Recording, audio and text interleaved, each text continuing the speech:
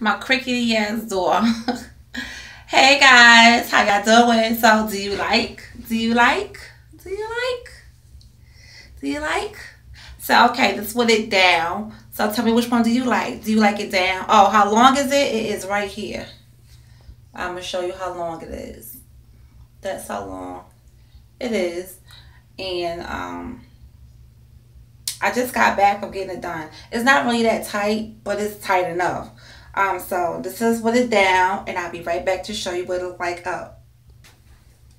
Voila! So this is what it up in the bun. So I could do it, you know, with a bun or wear it down. Since it's gonna be hot, y'all probably gonna see more of it with it up than down because I can only tolerate it down for, you know, a short amount of time. But to get used to it, I'm going to wear it down for a minute and then I'm just going to wear it up and down. You probably see it in different ways. But hey guys, do you like it? Do you like it? Let, let us just know in the comments if you like my hair. Do you like it? I love it. It's nice and simple. It's not too much. It's not doing, you know, it's nice. I think I look, I think I look a little cute. No, I think I look a lot of cute. How about that? Let me stop. But no, I, my, my scalp could breathe finally. There's nothing wrong with natural hair. I love my natural hair, but sometimes you just, when it get hot, you just gotta throw some braids up in this motherfucker. So, do you like?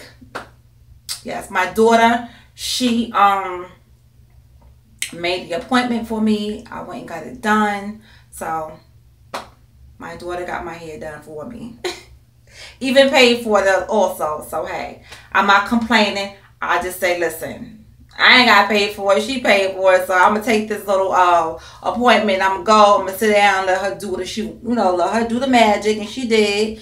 This is one of my daughter friends that did my hair.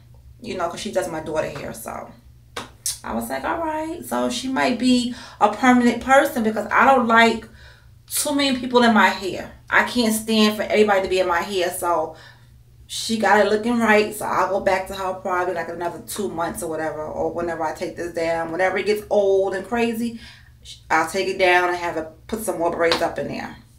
So just let me know in the comments if you like it. I'm still Phone Jones, just with my hair done.